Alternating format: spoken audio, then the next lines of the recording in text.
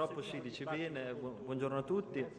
E come appunto ricordava io ho 26 anni e sono un precario del, del settore bancario, sono precario di una banca, di un'azienda che ha distribuito 94 milioni di utili agli azionisti nell'ultimo esercizio e eh, dopo tre anni di servizio sono tre mesi e mezzo di cui non ho notizie circa, circa il mio futuro.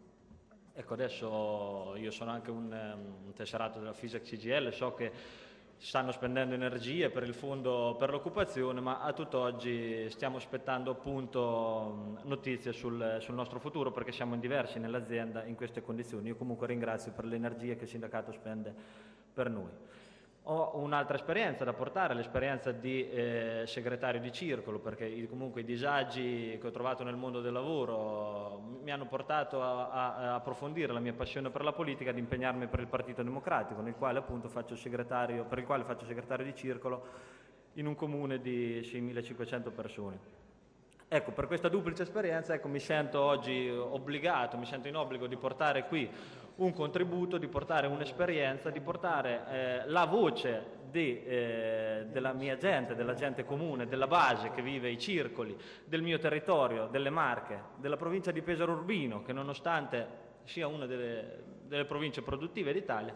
non eh, esce ehm, esente da questa feroce crisi economica che tutti conosciamo bene, quindi continua, continuiamo a perdere anche noi progressivamente occupazione e ehm, continuiamo a precarizzare eh, il lavoro. Ecco, proprio per questo eh, mi sento in obbligo di, di voler portare la voce del, del territorio. Di recente nel mio circolo, eh, la scorsa settimana, abbiamo organizzato, organizzato la festa del, del tesseramento e quindi è stata un'occasione per il Partito Democratico, per le persone iscritte di incontrarci, di, di chiacchierare. E nei parlatamenti che si fanno solitamente in queste occasioni mi è parso che dalle 120 persone che erano lì presenti uscisse da tutte la, eh, le stesse domande, gli stessi dubbi, cioè la domanda fondamentale era quella, ma quanto dura questa situazione? Quanto dura questa crisi? E cosa fa il Partito Democratico? Cosa stiamo facendo per migliorare? Beh, eh, per un segretario di circolo trovarsi eh, di fronte a queste mh, affermazioni, di fronte ai propri iscritti, insomma, lascia un po' eh, apparire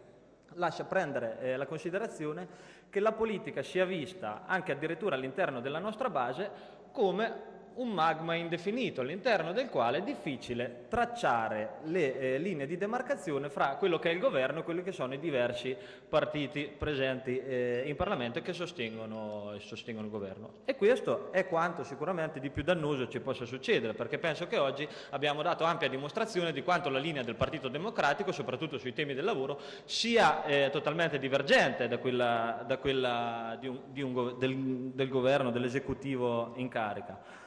E eh, chiaramente, essendo sempre a contatto con la base, posso esprimere un giudizio di quello che è il sentore del, delle persone nei confronti di questo esecutivo, che è di insofferenza, ma non potrebbe essere altrimenti, perché quale sentimento ci potrebbe essere nei confronti di un governo che ha usato le parole eh, equità, le parole di sviluppo solo al momento del suo insediamento per poi chiuderle in soffitta e lasciarle lì dimenticate? Come potrebbe essere il, eh, la percezione delle persone nei confronti di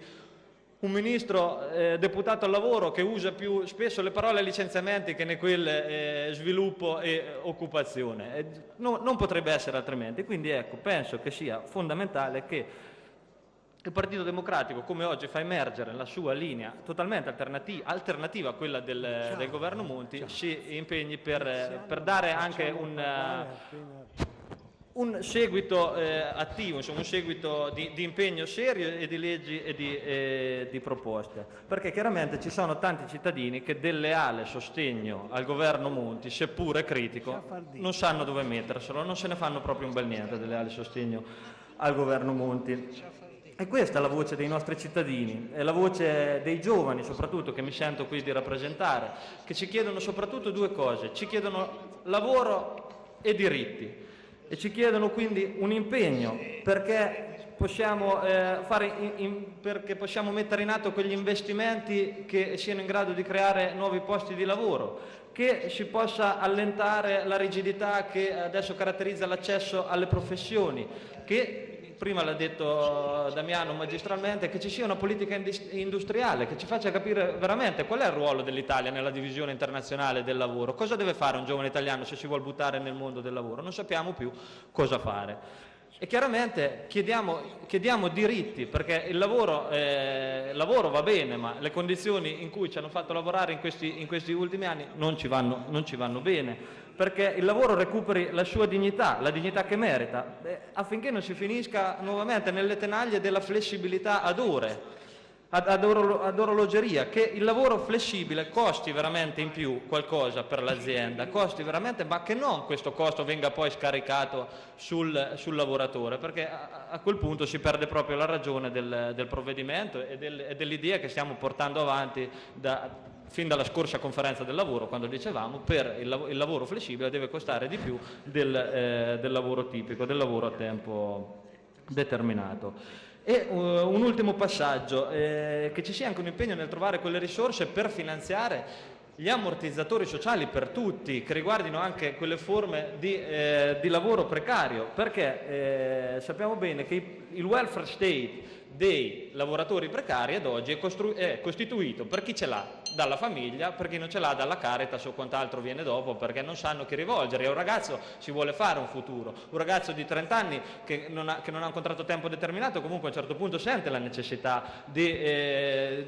di, di, darsi, di darsi, un futuro e quindi di, poter un minuto e, e arrivo. Ecco, penso che le risorse, le risorse, per questo si possono trovare e spetta alla politica capire dove. Penso che per il profilo del nostro, del nostro partito io consiglierei di dare un occhio a quelle che sono le statistiche sulla, sulle disuguaglianze della distribuzione del reddito, magari potremmo, potremmo trovare un'idea per dove, per dove, trovare le risorse per finanziare quanto detto. Se per ovvi motivi poi, per ovvi motivi poi questo non sarà eh, fattibile in questa legislatura, dobbiamo pre prepararci perché arriveremo a, eh, vicine, a vicine elezioni. Quindi il tempo delle analisi io credo che possa definirsi